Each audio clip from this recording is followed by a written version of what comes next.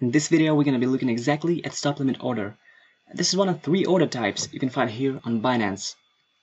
But before proceeding with this one, I definitely recommend you to get acquainted with market and limit orders, especially with limit order, because without knowing what is limit order and how it functions, it would be very hard for you to understand stop limit. Okay, and if you want to see another explanation of this issue, click here on this question mark, view more, and here we have a small article from Binance on how to use stop limit function. Very brief, very small, and very useful. Okay, let's go for it.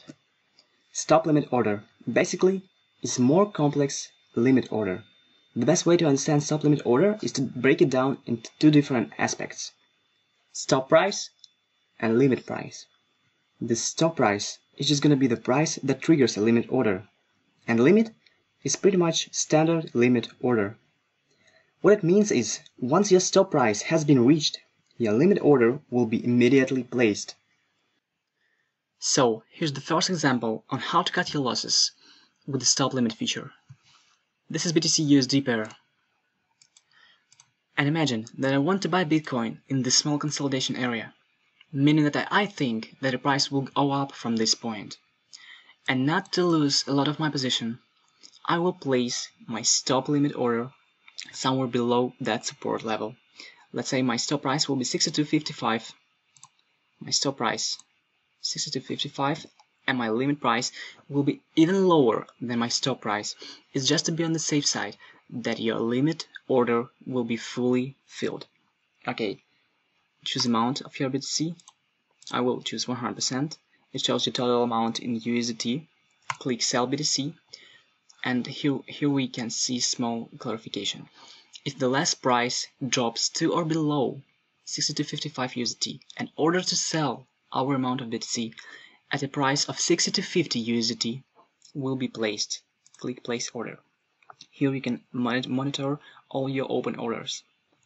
And one thing worth mentioning, if the price goes rapidly down from that point, like it did here, there are still some chances that your limit order might not be fully filled.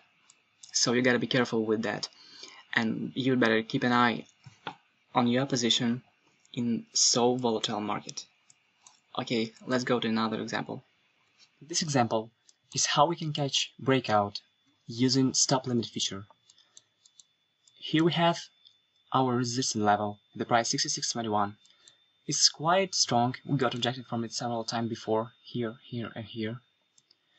And it's more likely if we break this resistance level, we're gonna go higher.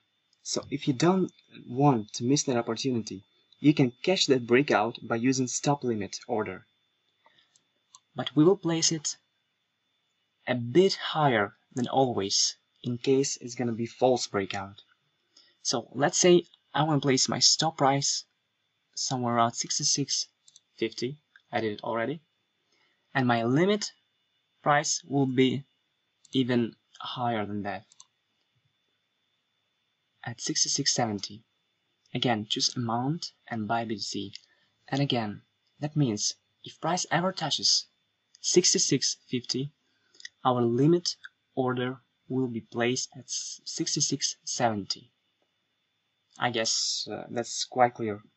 Okay, so thank you for your attention and remember, good trader always cares about risk. This type of orders is one of the best features out there to help you with that. Thank you.